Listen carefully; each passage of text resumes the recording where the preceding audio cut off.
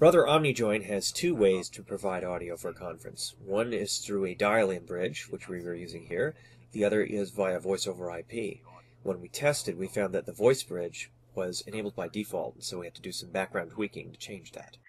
The remote control and sharing features allow you to take a specific application, window, or whole desktop and share it out for remote control with a specific user. You can also perform annotations on a given window as seen by the toolbox on the left there. And you can also take a PowerPoint document and have it shared out with the entire group without the use of PowerPoint itself. Another useful tool is for checking bandwidth and latency, which is a handy way to see if the stuttering or lag you're experiencing is your problem or somebody else's.